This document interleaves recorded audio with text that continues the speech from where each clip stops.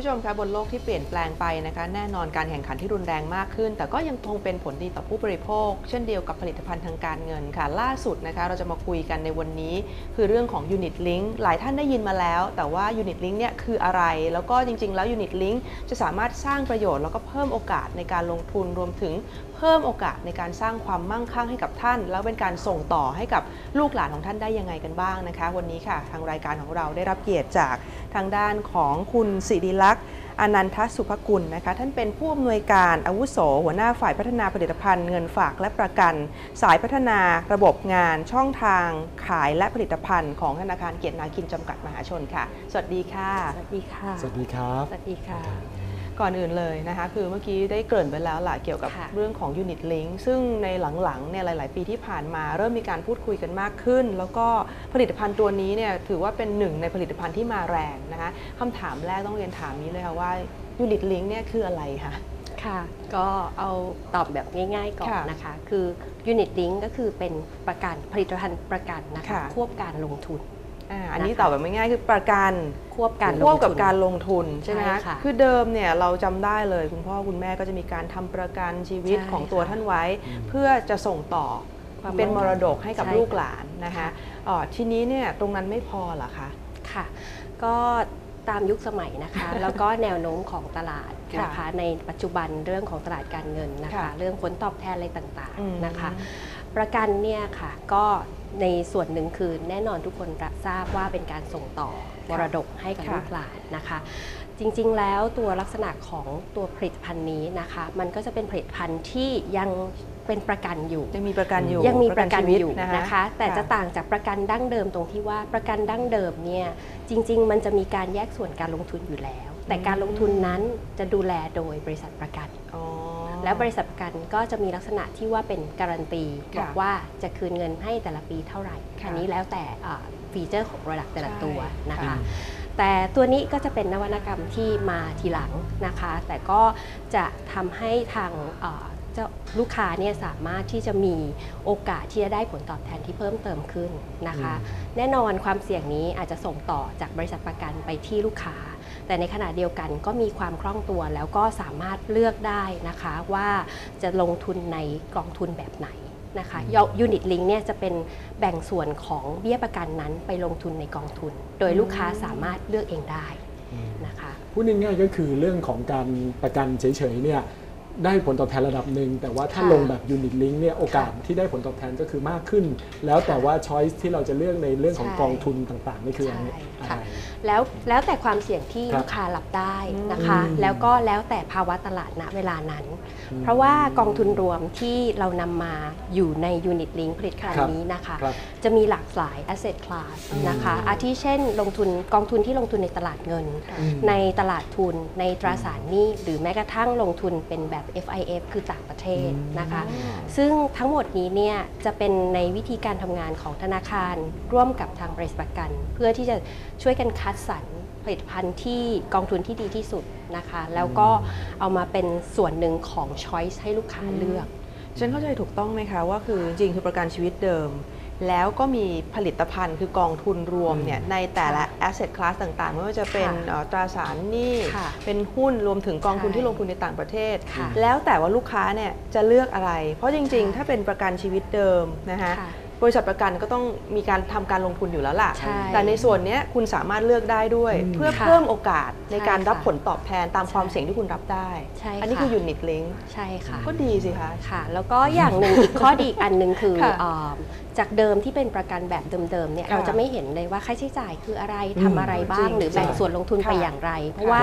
แต่ข้อดีคือบริษัทประกันก็จะลงทุนให้แล้วก็มีการันตีผลตอบแทนอืมนะคะใช่ส่วนใหญ่ใช่ใช่นะคะ แต่ตัวเนี้ยกี่เราจะเห็นเลยว่าอืมในแต่ละครั้งเนี่ยจะมีการค่าใช้จ่ายเท่าไหร่บ้าง แล้วส่วนที่เอาไปลงทุนคือเท่าไหร่ และค่ะก้อนก้อนที่ลงทุนนี้ เราก็เลือกได้เลยว่าเราจะไปลงอะไรอ๋อ ถ้าเรารับความเสี่ยงได้เยอะค่ะก็อาจจะไปลงในตราสารทุนค่ะซึ่งอืมก็อาจจะมีโอกาสผลตอบแทนที่สูงขึ้นอืมนะคะ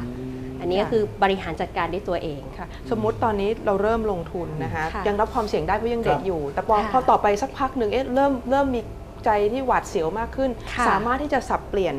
กองทุนที่เลือกได้ไหมคะทำได้ค่ะ ก็จะสามารถสับเปลี่ยนกองทุนที่อยู่ใน list ที่เราเลือกเอาไว้ให้นะคะอืมเพราะฉะนั้นเนี่ย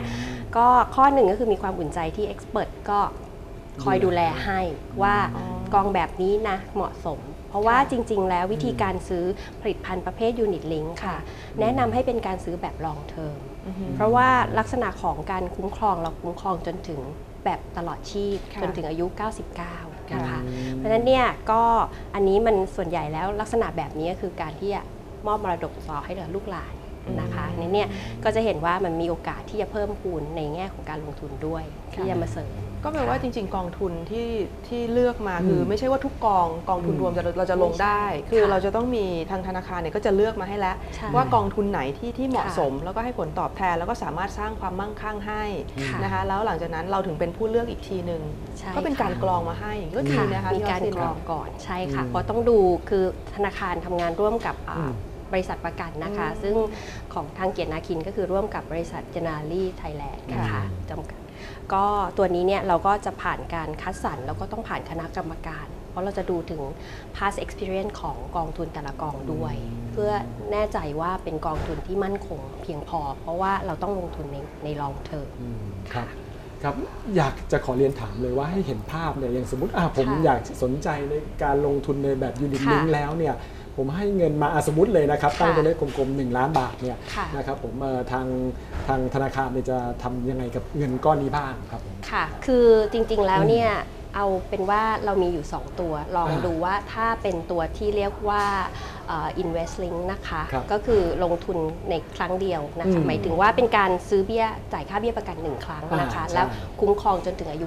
99 นะคะรับคือยกตัวอย่างคือสมมุติว่าออสตินมีครับ1ล้านบาทอ่าขั้นแรกเลยก็คืออมจะมีการที่เอาเงินก้อนเนี้ยนะคะ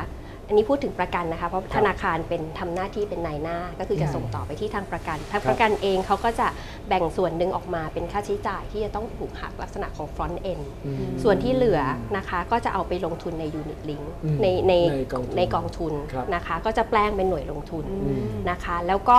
ในแต่ละเดือนก็จะมีค่าใช้จ่ายค่ะเขาจะเรียกว่าค่าประกันนะคะ ก็คืออืม cost of insurance แล้วก็ค่า admin fee ต่างอืมอืมๆซึ่งในแต่ละเดือนก็จะชาร์จเล็กน้อย โดยจะอืมหักจากกองทุนนั้นๆออกมาค่ะ อืมนะคะแล้วก็ก็คือเงินจะมีตรงนี้ก็จะลดลงนิดนึงนิดนึงใช่ ครับผม ค่ะแต่ลูกค้าก็จะเห็นเสมอว่าจะถูกหักไปเท่าไหร่ อืมเพราะว่าจะต้องมีการแจ้งให้ชัดเจนว่าอืม อ่าค่าใช้จ่ายต่างๆ นี้จะมีเท่าไหร่ต่อเดือน อืมค่ะแต่ว่าเราก็หวังว่ารีเทิร์นที่ได้จากกองทุนเหล่านี้เนี่ยจะ cover ในเรื่องของใช่ค่ะ ค่าใช้จ่ายของการประกัน ใช่ค่ะเพราะว่าอย่างที่เรียนค่ะว่ามันเป็นการลงทุนลองเทอมระยะยาว อืม แนวโน้มจากที่เห็นมันก็ควรจะอืม น่าจะมีโอกาสที่จะได้เพิ่มพูนขึ้นขึ้น แล้วสมมุติสมมุติเลยนะครับว่าเกิดเกิดผมเป็นอะไรก่อน 99 แล้วค่ะแล้วโปรเซสของของเอ่อการค่ะการลงทุนแบบนี้จะเป็นยังไงบ้างครับ ค่ะ ก็จะเป็นเหมือนประกันปกติเลยค่ะนะคะ ก็จะมีว่าถ้าเกิดเหตุการณ์ที่ไม่คาดฝันครับขึ้นเอ่อทายาทก็จะได้รับเงินที่เป็นการจากการเคลมประกันนี้นะคะอืมโดยถ้าเป็นลักษณะของการจ่ายพรีเมียมครั้งเดียวครับความคุ้มครองอยู่ที่ 130%ของอ่า เบี้ยประกันครั้งแรกก็คล้ายๆว่าได้ล้านสามแสนว่าอย่างนั้นใช่ครับถ้าผมเกิดอย่างที่ลงทุน 1 ล้านอ่าบาครัทบลูกหลานจะได้อย่างน้อย1ล้าน3แสนอืมแต่ถ้าหากเงินก้อน 1 ล้านนั้น ได้ลงทุนไประยะยาวอืมเพิ่มพูนไปยกตัวอืมอย่างว่าขึ้นไปเป็น1ล้าน5อืมสิ่งที่จะได้คือ1ล้าน5แสนในส่วนของก็คูณ NAV อืมบวกกับอีก 30%ครัก็บคืออีก 3 0 0แสนอืมของตั้งต้นนะคะอ๋อเพราะฉะนั้นสิ่งที่จะได้คือประมาณ1ล้านค่ะ8แสนบาท แล้วอ๋อแล้วถ้าสมมติค่ะ ดรออสตินท่านอายุยืน แล้วท่านอยู่เกิน 95 ปีเนี่ยค่ะจะเป็นยังไงคะ ก็ณตอนนั้นก็ดูเอ่อเรื่องของ NAV ของหน่วยลงทุนละอ๋อว่าเวลานั้นถ้าเกิดมันขึ้นไปถ้าอืมยกตัวอย่างเมื่อสักค่ะครู่แล้วอยู่จนถึงอายุ ครับ ค่ะ 99 ก็จะได้ไป1ล้าน5แสนบาท อืม เอาเราอย่าคืดูอถูกนะคะ เดี๋ยวนี้การแพทย์ดีอ่าทุกคนใช่อายุยืนขึ้นใช่ใช่ค่ะไหมคะ ใช่ค่ะ อืมคราวนี้งั้นขอเรียนถามหน่อย ไอ้ตัวเรื่องของ Unit Link เนี่ยก็น่าสนใจเพราะว่าเป็นเหมือนไฮบริดนะฮะเหมือนใช่เป็นส่วนค่ะผสมทั้งเรื่องของการใช่ลงทุนด้วย แล้วก็เรื่องของการประกันด้วยค่ะแต่คำถามคือ แล้วถ้าสมมุติว่าผมอยากที่จะไปลงทุนในเรื่องคือผมทำประกันชีวิตและลงทุนเองเนี่ยค่ะมันแตกต่างกันตรงไหนอย่างไหนแบบไหนดีกว่ากันครับ คือมันถ้าเห็นจากชาร์ตนะคะอืมก็จะเห็นว่าอ่าถ้าเกิดซื้อกองทุนรวมอย่างครับเดียวค่ะก็จะไม่มีความคุ้มครองแน่นอนอ๋อ ประกันชีวิตก็จะมีความคุ้มครอง แต่แต่ไม่มีการลงเรื่องทุกานรลงทุนนะคะอ่าแล้วก็มันก็จะมีเรื่องของว่าตัวนี้มันก็เป็นตัว merge ระหว่างอืมสองอย่างนี้อืมก็นำข้อดีของของ 2 ตัวนี้เข้ามาอืมนะคะ อันนั้นคือเรื่องแรกมีความคุ้มครอง มีความเอ่อ flexible ในการเลือกการลงทุนเองครับนะคะ แล้วก็ได้เห็นค่าใช้จ่ายที่ชัดเจน จากเดิมอืมถ้าเป็นอ่าประกันปกติจะไม่เห็น ordinary ไม่ life เห็นปกติเลยจะไม่เห็น ค่ะ แต่ของกองทุนเราจะเห็น เพราะฉะนั้นนี่ก็เอาส่วนดีของกองทุนเข้ามา แล้วก็อ่าจะเห็นชัดเจนว่าเอ๊ะแต่ละเดือนเราถูกชาร์จอะไรไปบ้างค่ะ นะคะ อืม แล้วก็ความยืดหยุ่นตรงที่ว่าจริง ๆ แล้ว ถ้าคุณลูกค้าเองเนี่ยต้องการที่จะนำเงินไปมีความจำเป็นที่จะต้องนำเงินบางส่วนไปใช้ ทำธุระอะไรต่างๆเนี่ยก็สามารถถอนได้บางส่วนอืมมันก็เลยมี flexibility ตรงนั้นมากกว่าประกันปกติ ใช่ค่ะ เพราะประกันปกติคือถ้าจะถอนหมายความว่าต้องยกเลิกใช่แต่อันนี้เนี่ยคือสามารถถอนบางส่วนได้ค่ะแต่ก็ต้องดูระยะเวลาว่าในมันก็จะมีว่าเราสามต้องภายในกี่ปีที่อาจจะต้องถูกชาร์จ แต่ถ้าหลังจากนั้นก็จะไม่โดนอะไรอย่างเงี้ยค่ะ ค่ะค่ะ นอกจากนี้จำได้ประกันชีวิตนี่ลดหย่อนภาษีได้ด้วยใช่ค่ะ ยูนิตลิงนี่เช่นกันไหมคะ สามารถลดหย่อนได้เฉพาะค่าใช้จ่ายที่ถูกหัก ถ้าส่วนที่เป็นการไปลงทุนแล้วตัวนี้จะไม่สามารถอืมลดหย่อนได้ค่ะอืมซึ่งบริษัทประกันเขาก็จะมีว่าส่วนไหนที่สามารถเคลมภาษีเอาไปลดหย่อนได้ค่ะ ค่ะ ทีนี้ถ้ามาเมื่อกี้ดร.ออสตินได้คุยครับถึงจุดเริ่มต้นแล้วค่ะนะคะอืมว่าเราจะเริ่มยังไง จริงๆ ผลิตภัณฑ์ของธนาคารอืมเกียรตินาคินก็มีให้เลือกอยู่เหมือนกันนะคะค่ะเห็นบอกว่าวันนี้นี่ที่เราจะมาคุยกันเป็น2องสองอย่างด้วยกันมันต่างกันใช่ยังไงคะของสอง product คือเรามีผลิตภัณฑ์ unit link เรามี 2 แบบนะคะ แบบแรกอย่างที่เมื่อกี้ยกตัวอย่างให้ค่ะคุณ ออสตินเห็นนะคะ ก็คือเรียกว่าเป็น single pay คือค่ะจ่ายครั้งเดียวค่ะนะคะ ชื่อก็คือเป็น KK Gen Invest Link Invest Link นะคะ Invest Link ค่ะนะคะ ก็คือชำระเบี้ยครั้งเดียวจบละอืมค่ะเราคือทุกอย่างก็คือเป็นการคุ้มครองละอืมแล้วก็มีความคุ้มครองที่ 130%เป็นอย่างค่ะน้อยอืมนะคะ แต่ถ้ามีผลตอบแทนเพิ่มก็จะได้เพิ่มกว่านั้นค่ะนะคะ อีกส่วนหนึ่งก็คือเป็น KK Gen Protect Link ค่ะอืมซึ่งอันนี้เราจะเรียกว่า 3 เป คือมีการจ่าย 3 ครั้งอืม3ปี นะคะ แล้วก็ความคุ้มครองคือ 3 เท่าของเบี้ยครั้งแรกอ๋อสมมุติว่าสูงซื้อเบี้ยเอ่อจ่ายค่าเบี้ยนะคะประมาณ 2 0 0 0 0 0 บาทค่ะก็จะต้องจ่ายไป 3 ปีรวมคือ 6 0 0 0 0 0แต่อ่าความคุ้มครองก็คือเอา 3 0 0 0 0 0คูณ3 เท่าอืมอืมนะคะค่ะแต่วิธีการทำงานก็คล้ายๆซิงเกิลเ y เหมือนกัน ก็จะมีการ charge upfront มีการชาร์จ รายเดือนนะคะ แล้วผลิตภัณฑ์2อันเนี้ยเนี่ยนะคะค่ะสองแบบนี้เนี่ยเหมาะสำหรับใครยังไงอืมบ้างค่ะก็จริงๆ ถ้ามองก็คือคนที่อยากได้ความคุ้มครองระยะยาวค่ะนะคะ ต้องการส่งต่อเออมรดกให้กับลูกหลาน แล้วก็อืมรวมถึงอยากจะมีโอกาสที่จะได้รับผลตอบแทนเพิ่มเติมนะคะ แต่ทั้งนี้ทั้งนั้นต้องรับความเสี่ยงได้นะคะ ก็เลือกลงทุนในระดับความเสี่ยงที่เอ่อเหมาะคิดว่าเหมาะสมกับตัวเอง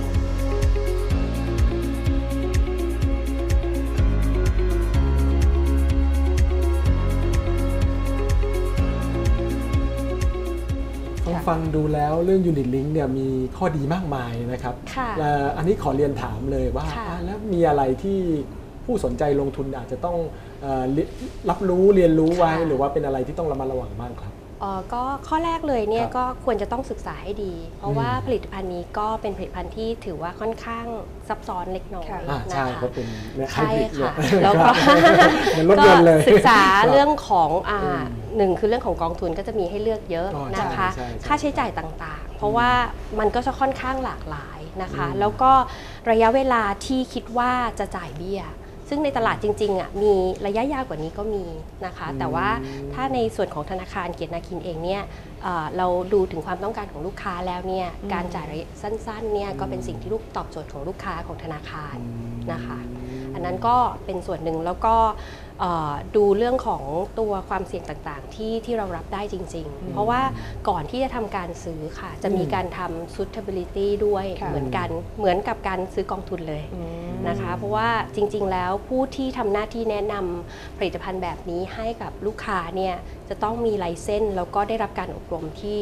อืมครบถ้วน เห็นบอกว่า unit link นี่เข้มข้นมากนะเข้มเพข้นราะว่ามีค่ะ regulator ถึง 3 แห่งด้วยกัน มีค่ะอะไรนะธนาคารแห่งประเทศไทยค่ะมีคปภกลตแล้วก็มีทางกลตค่ะด้วยใช่มาแล้วให้การดูแลแล้วผู้ที่จะเข้ามาให้คำแนะนำได้ก็ต้องมีค่ะ license ที่ไม่ใช่แค่ใช่ single license เท่านั้น มี license ก็คือ license ประกันชีวิต license single license แล้วก็ได้รับการอบรมจากทางคอปพอด้วยเกี่ยวกับ unit link โดยตรงนะคะ แล้วก็ในของธนาคารเองเนี่ยครับก็จะต้องมีการอบรมเพิ่มเติม แล้วก็มีการทดสอบอืมค่ะค่ะที่ทราบมานี่เหมือนกับว่าของธนาคารเราเนี่ยเป็นผู้นำในการอ่าเป็นผู้จำหน่ายยูนิตลิงเลยใช่ไหมครับในตก็ลาดค่อนข้างค่ะครับแล้วก็ถือว่าเราก็มีลูกค้าให้ความสนใจเยอะอื มอืมมากพอสมควรทำไมเราถึงได้รับความสนใจขนาดนี้ แล้วก็สิ่งที่ลูกค้าเนี่ยถามเข้ามาบ่อย ๆ เลยเนะคะเป็นอืมเป็นคำถามอะไรบ้างอยากจะทราบก็คำถามมันก็จะมีว่า ถ้าซื้ออย่างที่เมื่อกี้ดรสตินครับถามมาว่าอ้าวแล้วถ้าไปซื้อแยกต่างกันไหมต่างกันยังไงอะไรอย่างเงี้ยค่ะ ซึ่งเมื่อกี้ก็ให้คำตอบคร่าวๆไปนะคะ มันก็มีจุดอย่างยกตัวอย่างเพิ่มเติมคืออย่างพวก fund switching เนี่ยมันสามารถทำได้แล้วก็ผลิตภัณฑ์พวกเนี้ยจะให้ส่วนใหญ่จะมีการให้ฟรี fund switching อย่างน้อย 3 ครั้ง โดยที่ไม่ต้องเสียค่าธรรมเนียมต่างๆอะไรพวกนี้ก็เป็นข้อดี แล้วก็ที่บอกว่า expert ก็มาคอยช่วยดูแลเลือกสรรให้ก่อนแล้วนะคะคัดให้ก่อนส่วนหนึ่ง แล้วก็ค่ะมาเลือกอีกทีหนึ่งอือืมมค่ะค่ะมันก็คือความสลับซับซ้อน แต่เพียงแต่ว่าเราก็ใช่มีผู้เชี่ยวชาญในแต่ละด้านค่ะเนี่ยเข้ามาช่วยพิถีพิถันแล้วก็มาสร้างใช่สรรค์ผค่ะลิตภัณฑ์นี้นะคะใช่ค่ะ เพราะว่าก่อนที่จะเอ่อเอ่อผู้ขายจะสามารถนำเสนอให้กับลูกค้าเองเนี่ยค่ะเราก็มีการอบรมที่ค่อนข้าง เข้มข้นเข้มทีเดียวอืมแล้วก็มีกระบวนการที่จะรองรับ เพื่อจะมั่นใจว่าลูกค้าเข้าใจจริงค่ะในการที่จะซื้อผลิตภัณฑ์นี้ พอจะเปิดเผยชื่อกองทุนได้บ้างไหมคะ ว่าเป็นกองของใครอะไรยังไงบ้าง และแต่ละกองเนี่ยเออเราอยากจะทราบเหมือนกันว่าอืมทาง investment committee ที่เขาได้มีการคัดเลือกมาเขาเขาดูจากรูปร่างหน้าตายังไงกันบ้าง จุดเด่นใช่ยังไงบ้าง ก็จริงๆ มองถึง asset class ก่อนค่ะนะคะว่าข้อแรกคือว่าพยายามที่จะไม่มีครบกับทุกระดับความเสี่ยงของลูกค้าอืมนั่นคือข้อแรกนะค่ะคะข้อ 2 ก็คือดูความดูในแง่ของตัวบลจเอง นะคะเพราะว่าอืมตอนนี้เนี่ยเองเราก็มีของทั้งบลจพัทละค่ะนะคะยูบีนะคะอับดีนกรุงศรีแล้วก็อืม TMB อืมนะคะนั่นก็ข้อหนึ่งครบแล้วก็อืมการทำงานของธนาคารเอ่อผลิตภัณฑ์นี้เองเนี่ยเราก็ทำงานร่วมกับคนที่ดูแลผลิตภัณฑ์การลงทุนนั้นเนี่ยเราก็จะดูในกลุ่มที่เป็น top pick ที่อืมที่ที่ทางธนาคารมองแล้วว่าเหมาะสมค่ะแล้วก็นำเสนอนี้ก็คัดกรองเรื่องร่วมกับทางบริษัทประกันอืม แล้วก็จะต้องดูมันจะมีเงื่อนไขว่ากว่า unit เอ่อกองทุนนั้นๆ จะถูกเข้าไปอยู่ใน list ของ unit link เนี่ยอืมจะต้องผ่านเงื่อนไขอันใดบ้างอาทิอืมเช่นเอ่อในแง่ของระยะเวลาของค่ะกองนี้ว่าเปิดมาเท่าไหร่อืม performance ที่ผ่านมาดูย้อนหลังไป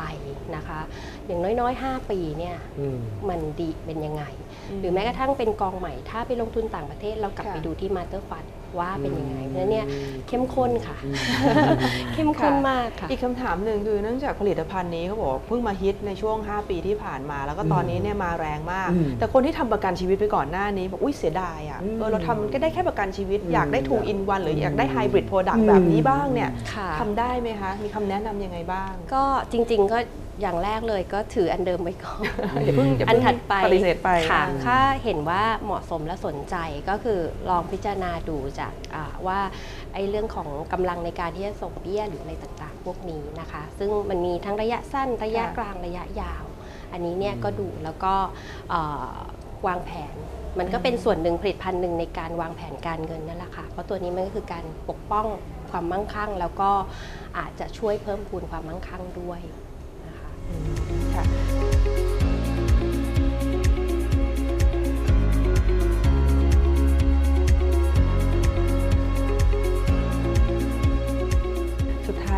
อยากจะฝากอะไรทิ้งท้ายสำหรับอืมคุณผู้ชมทางบ้านที่สนใจยูนิตลิงบ้างไหมคะว่าต้องมีการเตรียมตัวยังไง ถ้าเกิดว่าอยากจะขอรายละเอียดเพิ่มเติมเนี่ยค่ะต้องมาได้ที่ไหนหรือว่าบางทียังไม่ค่อยค่ะเข้าใจ เพราะว่าโอ้โหการที่เราจะเอาเงินไปไปวางไว้ทั้งก้อนหรือว่าใช่ค่ะเอ่อเอ่อสามครั้งเนี่ยนะคะก็ก็ก็ต้องคิดหนักเหมือนกัน ตอนเนี้ยคือคำแนะนำเนี่ยเราจะสามารถที่จะสอบถามได้ที่ไหนยังไงบ้าง ก็สามารถสอบถามได้ที่ธนาคารเกียรตินาคินทุกสาขาเลยนะคะค่ะหรือว่าลองหาข้อมูลได้ที่ www เกียรตินาคิน .co.th อืมนะคะก็ทางเจ้าหน้าที่เราก็สามารถที่ให้ข้อมูลต่างๆ พวกนี้ได้นะคะค่ะแล้วถ้าจะสมัครนี่ต้องต้องก็จะซื้อที่สาขาใช่ไหมเลยค่ะ ที่สาขาได้เลยต้องใช่เตรียมอะไรค่ะมาบ้างไหมคะก็เอกสารตามที่จำเป็นก็เป็นพวก ID หรือว่าเอ่อเรื่องของบัตรประชาชนต่างๆ พวกนี้ค่ะอืมแล้วสำหรับผู้ที่จะได้รับอ่ามรดกตกทอดตรงนี้ไปเนี่ยนะคะค่ะเราต้องเราระบุได้ ก็จะเป็นเหมือนประกันทั่วไปเลยค่ะ ก็คือระบุผู้รับผลประโยชน์ได้นะคะอืมแล้วก็ถ้าเกิดเหตุการณ์ที่ไม่คาดฝันเกิดขึ้น ก็ตาม process ปกติของประกันก็คือภายใน 7 วัน ก็ทายาทก็จะได้รับเงินนั้นไปนะคะค่ะก็จะค่อนข้างไม่ต้องไปแต่งตั้งผู้จัดการกองมรดกหรืออะไรก็ตาม มันจะอัมีนคนี้วาม อันนี้ก็เป็นสิ่งที่ดีด้วย ใช่ค่ะ เพราะว่าบางบางบางครอบครัวนี่อาจจะต้องรอจำเป็นต้องใช้ใช่ไหมเงิคะนหรืออะไรกว่จต่างๆตั้งผู้จัดการมรดกกว่าตรงนี้จะได้มา อืม แต่ว่าอันนี้เนี่ยคือประกันเนี่ยจุดเด่นอย่างหนึ่งก็คือว่าสามารถคุณระบุชื่อใครไปคนที่ตรงไปนั้นตรงเลนั้ยนเลยอืมใช่นะคะ ครับผม ก็ใช่ค่ะ สรุปง่ายๆว่า Unit Link เป็นการผสมผสานระหว่างประกันชีวิตอืม กับการลงทุนในกองทุนรวม เพื่อที่จะใช่ค่ะเพิ่มโอกาสที่จะได้ผลค่ะตอบแทนมากขึ้นอืมแล้วก็ยังได้ใช่ความคุ้มครอง อืม ค่ะ แล้วก็เป็นมรดกตกทอดไปถึง บุคคลที่อยู่ด้านหลังด้วยค่ะนะใช่ก็คะคือดีครบด้านครับผม ค่ะคุณผู้ชมคะนี่ก็เป็นสิ่งที่เรานำมาฝากกันไว้นะคะ อย่าลืมค่ะว่าเรื่องของการลงทุนเราต้องดูเฉพาะปัจจุบันด้วยอืมแล้วก็อย่างยิ่งโดยเฉพาะอย่างยิ่งนะคะ การสร้างความมั่งคั่งก็ต้องดูไปเผื่อในอนาคตและรวมถึงมรดกที่จะตกทอดไปถึงลูกหลานด้วยนะคะยังไงก็ลองศึกษาดูแล้วกันค่ะว่า Unit Link นั้นเหมาะสำหรับพอร์ตการลงทุนของท่าน หรือว่าควรที่จะมีอยู่ในแผนการลงทุนของท่านหรือไม่นะคะ วันนี้ขอบพระคุณมากเลยค่ะ ขอบคุณค่ะ ขอบคุณครัขอบ บคุณค่ะ เดี๋ยวช่วงนี้เราพักกันก่อนสักครู่ค่ะ